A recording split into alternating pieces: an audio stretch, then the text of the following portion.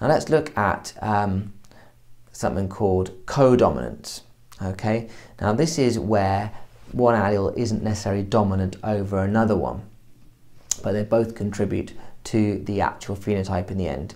Nice example here is snapdragon flowers. Okay, you got a red and a white. With uh, codominance, we show the alleles as superscript. Okay, um, uh, over the uh, we choose a different letter uh, for the characteristic. So in this case, color, and then we show the variations of that in superscript uh, at the top there as you can see and you can see that actually when you get heterozygous individuals they actually uh, get a bit of both of the parents and they end up with pink flowers crossed between red and white this is what we call actually it's called this is what's technically called incomplete dominance it's an example of co-dominance Okay, what about multiple alleles? So far we've looked at an example where there's only two alleles um, you know, either yellow or green, for example, in the pea seeds. But some genes have more than two alleles, they've got more than two versions of a particular gene. The, the classic example of this is human blood groups uh, and blood typing, um, ABO blood typing as it's known. Multiple alleles, the three alleles involved here are actually IA, IB and IO. We're showing them as superscript here because we've got three different alleles uh, your blood type genes actually code for the particular antigens that are present on the surface of your red blood cells. So you could have type A antigens, you could have type B antigens, or you could have both A and B antigens, or you could have none at all. So there's four different blood groups you can be A, B, AB, and O. Now, O uh, is actually a recessive allele, IO is actually a recessive allele, and IA and IB are co-dominant. So it's a little bit confusing, but if you look at the four blood groups here, uh, these are the genotypes that would code for them. So with blood group A, you could be IAIA, you're homozygous dominant, you're both A's from your parents, you're going to be A. Or you could have inherited IA from one of your parents and IO, remembering that uh, IO is recessive and therefore you'd still end up with your phenotype as uh, type A. Similar for type B, you could be IB, IB, or you could be IB, IO. With blood group A, uh, so with blood group AB, you're going to inherit one of each, IA and IB. And with blood group O, you're going to inherit IO and IO. You have to be homozygous recessive to end up with blood type O.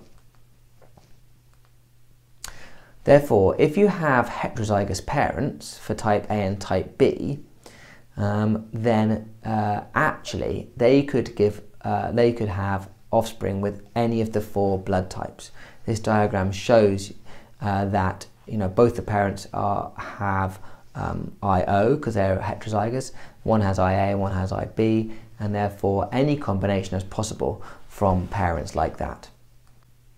The next example we'll look at is sex linkage. Until now we've only considered inheritance of genes on the non-sex chromosomes which are called your autosomes. Okay, chromosomes number 1 to 20, pair 1 to pair 22.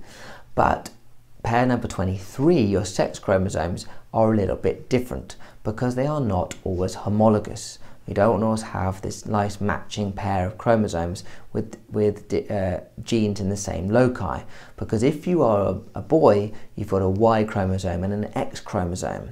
And the Y chromosome is actually much, much smaller than the X chromosome. So there is whole sections that are what we call non-homologous.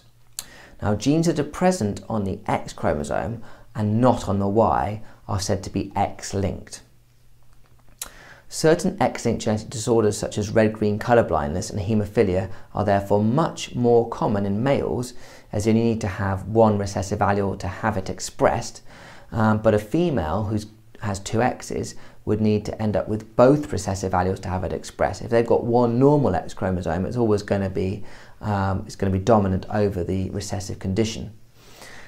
So we can look at the inheritance of certain genetic conditions that are sex linked. As you can see in this diagram, a healthy father and a healthy mother, although they're a carrier, uh, have children. And because the boy only gets his X chromosome from his mother, there is a 50-50 chance he will inherit the recessive, the, the uh, the damaged, as it were, uh, mutated X chromosome with the recessive allele on it. Um, none of their female offspring could ever get the disease in this case because they'll always inherit their father's normal dominant X chromosome, which will always mask it. So you end up, might end up with female carriers, but in this case, never going to have a female with the disease.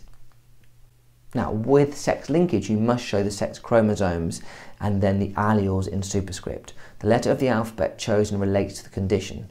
In this worked example, the recessive X-linked condition is haemophilia, so we've used H. This shows that actually a man with the disease would have 100% of his offspring without the disease if he produced with, reproduced with a homozygous healthy female. The girls would be carriers and the boys would end up being normal. So here we can see that uh, because the affected male uh, passes on his uh, haemophilia X chromosome, but the healthy female is dominant, uh, has two healthy X chromosomes, then there is no chance of having any offspring with the disease.